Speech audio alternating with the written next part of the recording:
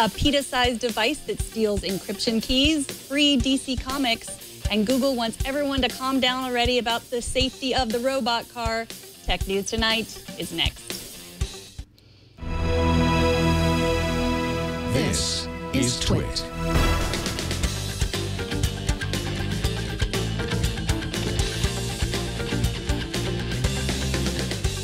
This is Tech News Tonight, episode 368 for Friday, June 26th, 2015.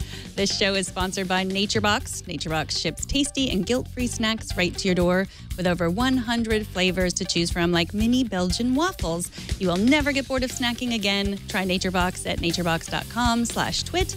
That's naturebox.com/twit. Welcome. I am Megan Morrone. Today, you can tweet hashtag love wins to display a rainbow heart on Twitter. You can decorate your Facebook profile with a rainbow flag. You can see rainbow exhaust fumes from an Uber car headed your way, and you can search for marriage equality on Google to see a rainbow colored Easter egg. Also, you have the right to same sex marriage. The Constitution now guarantees it. Now, let's get to the tech news. Joining me today is Roberto Baldwin, senior editor at Engadget. How are you doing, Roberto? I'm okay. How are you doing? I am doing well. Now, you told me today that you had no idea people could watch the interviews that I've done with you in the past after they aired live. So well, I started. I until like a month ago. I found out a month ago because somebody said that someone, when I was at the Next Web, they're like, "Oh, I watched one of your interviews, so I know what to do." And I was like, you can do that? Yeah, people actually watch us, not just live, but you can go to twit.tv. You can uh, watch them anytime you want. You can watch all of the ones that I've done with you and all of the ones that Sarah Lane did with you before. You just have to type in Roberto Baldwin into the twit.tv search box. You can see all of our interviews. Wow. Yes. That's, so. That, weekend plans, everybody. and Roberto Baldwin. Right. All your greatest tech predictions are there. And of course, all of them came true. You never once said something that turned out to be completely false. I'm sure that's true. That's right. That sounds about right. So this week you posted a story on Engadget about how your computer is leaking information, but not in the ways we might think. Uh, what were you talking about? So your computer, the the the the chips, your your processor actually leaks electromagnetic radiation, radio waves and it's pulsing.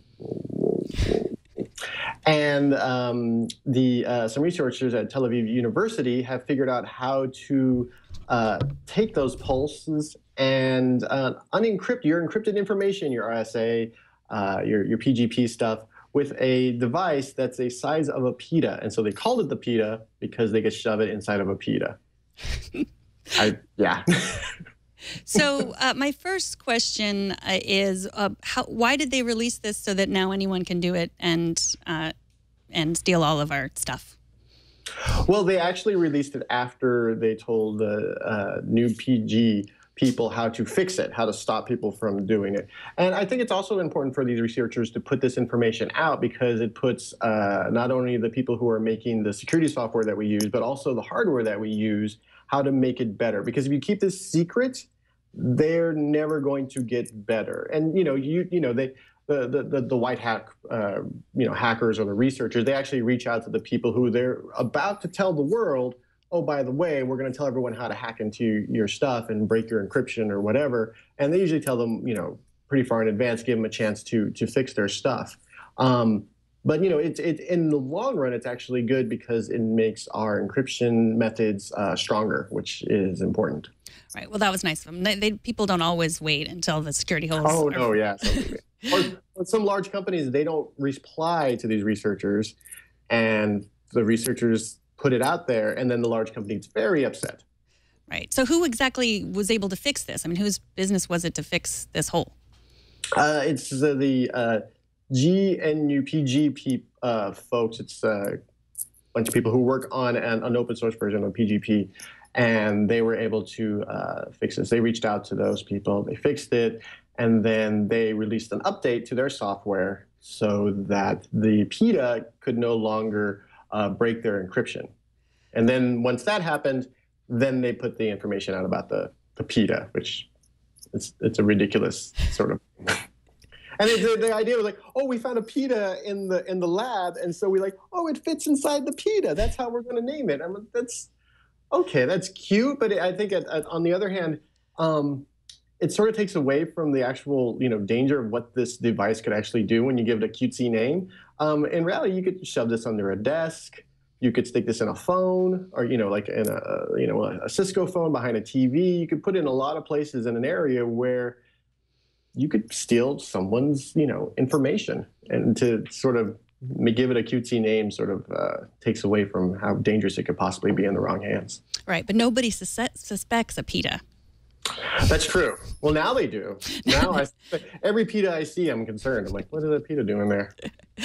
So let's talk about another story that you posted this week um, on Engadget. Is a new way to get free comics. Uh, tell us about that. So there is this company Hoopla. Well, actually, it's it's Midwest Tape, and they make this app called Hoopla. Midwest Tape has been uh, getting books and videos and tapes and whatever for your local libraries for like 25 years, forever. Um, so they created an app that works with your public library. So uh, recently, they added ebooks and comics to that app, and this week they added DC Comics to their app. So if you're, it, there's a lot of things that you have, you know, some caveats. A, your your local um, library has to use support Hoopla, and then it also has to support these new e- ebooks and uh, comic books. Now that's up to the library itself. So if you if it supports Hoopla, you can tell your your local librarian, hey, I want to be able to read uh, Batman graphic novels on this Hoopla app, and they'll tell the king of the library in that area to, to update it. But if you have a library card and your local library system uh, supports it, you can read Dark Knight, you can read Superman. You know, they have 25 of the biggest uh, DC comic books or, or graphic uh, novels ever. They have Watchmen on there, a lot of Alan Moore stuff. Um, it's it's pretty impressive. But so is this an exclusive deal with Hoopla? I know because there's some other apps. I use Overdrive, uh, which mm. my lib- library uses, and I think most public libraries use to rent ebooks and audiobooks. Um, will it be available there? Is it exclusive to Hoopla? It's exclusive to Hoopla, uh, and it's mostly because, like I said, they have that sort of that back end, that Midwest tape relationship with a lot of these libraries. Um, and you know, I, have I've used Overdrive on you know my tablets and on my my uh, you know the, the, the Kindle and the Sony Reader before they went defunct. It actually had the best implementation of using Overdrive, but even it's so convoluted to set up Overdrive on your devices. It's and, and the Hoopla app is just you open the app, you link it to your library with your library card, and that's it. So they they're trying to sort of cut down the amount of work to get uh, to get your library books. Right. Um, have you used Overdrive recently on your iPhone?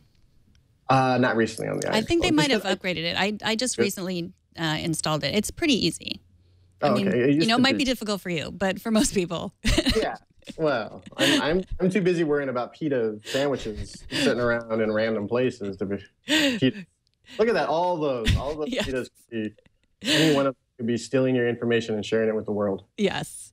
Uh, so are, are DC Comics making any money off of this? If we're seeing them for free, or is who's making money off of this? Uh, I mean, they're they're going to make some money off of it. It's, it's you know it's it's the so you know it's the same sort of uh, whatever money libraries get from from or libraries give to to booksellers and to these uh, you know these third parties like Midwest Tape who you know get uh, these books to uh, individuals from the library.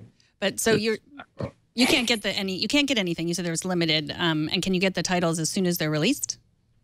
That is still something that you know they Midwest Tape would be happy if that was uh, something that they could do, but it just more likely it's going to be uh, there's going to be windowing like the same way you see on Netflix. So on Netflix, you know you're not going to get a movie right when it comes into a theater uh, you may get it about the same time as the DVD release, or if the uh, you know maybe a few months after the DVD release. So uh, DC Comics is going to do the same thing. You know, it's going to come out in your local comic book store or on their own uh, DC app, and then maybe a few weeks later, maybe a few months later, they're still trying to figure out. Um, how they're going to do that? They're sort of they're they're, they're watching and and to see how the uh, how the hoopla use of uh, DC Comics uh, goes over. If it goes over really well, then you know they might be more open to uh, cutting down that sort of windowing time into something that you, you so, may be a month or two later.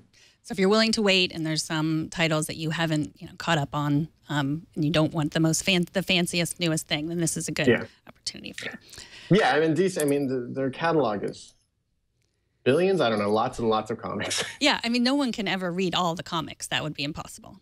Now's your chance if they know. right.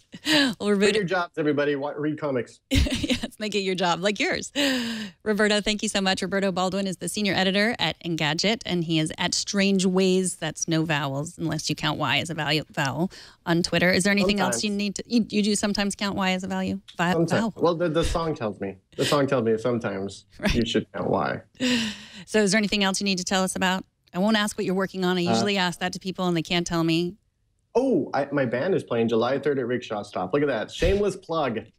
That's in San Francisco, right? San Francisco, yes. Okay. We'll all be there. Yay. and I'll give you a little overdrive tutorial when I'm there. Okay, cool. You just come up to the stage and be like, this is just hit install. Come on. Thank Get you. together, Robbie. Thanks, Roberto. Take care. Thanks. Coming up, Disney hates your selfie stick and an ingenious Kickstarter to kick your kids out of the house. But first, this episode is brought to you by NatureBox. Right now at NatureBox, you can get a free trial of their favorite snacks. You just pay $2 for the shipping. People snack. There is no shame in it. But when I snack, I want it to be worth it. Now, I've been hearing about NatureBox for a while on a whole bunch of different podcasts, but it wasn't until I came here that I finally got to try them. And I wish that I hadn't waited that long. And I don't think you want to wait that long, too. With NatureBox, you choose from over 100 health and healthy and crave-worthy options to be delivered right to your door. So next time you're hungry, grab strawberry lemonade, fruit stars, or sweet and salty nut medley and get smart about snacking. Right now, if you go to naturebox.com slash twit, you can get a trial of their favorite snacks delivered to your door. What are you waiting for? Go to naturebox.com slash twit to start your trial today. And we thank NatureBox for their support of Tech News Tonight. Now, on to a few more stories we're following today. Today, Disney joined the ranks of public places that have banned the selfie stick. The Orlando Sentinel reports that as of this coming Tuesday, the wands of Narcissus will be officially unwelcome in the Disney World theme park. The sticks also will not be allowed in Disneyland, Disney World water parks, or Disney Quest. That's a gaming attraction at downtown Disney. There is no word yet on whether Disney has banned your arm. The battle your arm. Get it? Just use your arm It's- or don't take a selfie. The battle over the safety of the self driving car is raging, and I plan to report it as it happens. For the record, I am not promising to report this without bias. I am Team Robot Car. I hate driving. I think Ars Technica is Team Robot Car too. This morning they reported exaggerated a they reported that Reuters exaggerated a story claiming that two self-driving cars had a close call in Silicon Valley this week. Ars Technica dug into the story and learned that a self-driving prototype, the Audi Q5, did not cut off a self-driving Google car. Our car did exactly what it was supposed to do, said a representative from Delphi. They make the Audi Q5. Audi Q5. Google agreed and said the headline should be two self driving cars did what they were supposed to do in an ordinary, everyday driving scenario. But who would click on that, Google? Nobody. It took eight tweets for Twitter's VP of Corporate Development, Rishi Garg, to announce that he was leaving the company. Garg has only been at Twitter for a year, but during that time, the company made some key acquisitions, including the live streaming app Periscope. Garg was formerly the head of corporate development at Square. Threatpost says that users of Hotels.com may have been victims of a phishing scam. Some customers have been tricked into disclosing their names, phone numbers, email addresses, and travel bookings through fake phishing emails and SMS messages. Those affected have been notified, and Hotels.com has responded by adding multi factor authentication between their hotel partners.